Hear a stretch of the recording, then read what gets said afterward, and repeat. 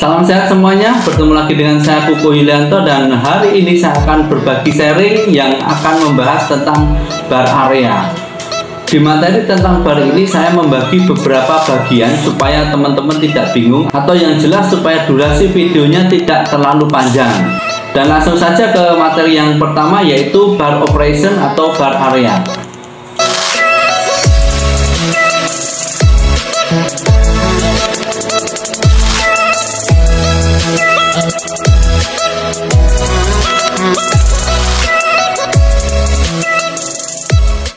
Dasar saya mengangkat materi kali ini adalah supaya ketika teman-teman ini sedang berkunjung, nongkrong ataupun main ke dalam sebuah bar, Anda bisa mengetahui dan menyebutkan nama dengan benar sesuai dengan apa yang diistilahkan oleh teman-teman bartender di sana atau mungkin sudah dikenal secara umum oleh teman-teman pelayan uh, waiter waitress yang bekerja di sana.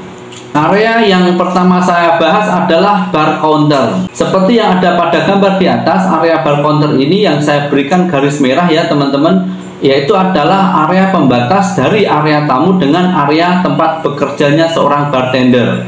Istilah mudahnya adalah ketika tamu ini berada di luar, maka bartender ada di dalam dan itu dipisahkan oleh satu counter yang disebut bar counter. Dan bar counter ini biasanya sangat visible atau terlihat oleh mata karena ini adalah satu-satunya area yang paling dekat dengan tamu. Sehingga kebanyakan tamu pasti mendatangi area ini. Dan berikutnya adalah working bench. Apa sih working bench? Untuk teman-teman bartender, working bench ini sangat vital sekali. Karena posisi working bench ini sangat menentukan bagaimana jalannya operasional di sebuah bar nanti. Jadi kunci dari baik buruknya sebuah working bench adalah di preparation. Itu sebabnya ini sangat vital dan tidak boleh ada sebuah kekurangan di sana. Secara sederhana, working bench adalah tempat bekerjanya teman-teman bartender dalam sebuah bar. Lalu saya lanjutkan dengan bar stool. Seperti gambar yang saya garis merah juga, secara sederhana, bar stool adalah tempat yang dipergunakan oleh tamu untuk duduk di depan area bar counter atau yang biasa terlihat adalah kursi dengan struktur tiang penyangga yang tinggi. Selanjutnya adalah bar display yaitu area bar yang biasa dipergunakan untuk mendisplay atau memasang botol-botol minuman yang dijual. Biasa terdiri dari liquor dan liquor, ada juga aperitif apabila memang ada dan kemudian semua minuman-minuman alkohol biasanya dipasang di sana kecuali bir dan wine.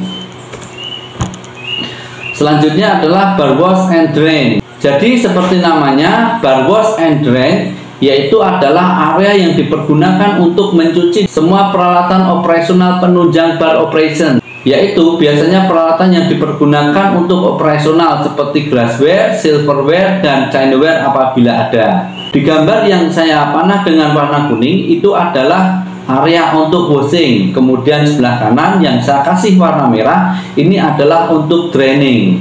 Satu bar area yang terakhir adalah kasir register, sama seperti di tempat-tempat penyedia layanan jasa yang lain atau penyedia jual beli yang lain bahwa kasir register ini juga ada di area bar yang di mana berfungsi untuk menyelesaikan semua tagihan transaksi yang terjadi pada saat itu.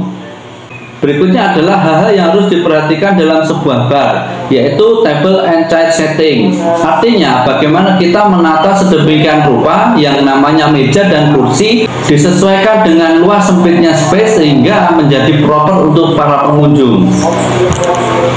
Dan terakhir yang perlu kita perhatikan adalah lighting, decoration, air conditioner, ventilasi dan juga entertain. Hal-hal di sini kita harus menyesuaikan segala sesuatunya supaya tamu memang nyaman dan semuanya terlihat proper atau indah, bagus dan tidak membuat tamu menjadi bosan. Baiklah teman-teman semuanya, demikian sharing dari saya, semoga bermanfaat. Akhir kata dari saya, salam sehat dan sampai jumpa di video saya berikutnya.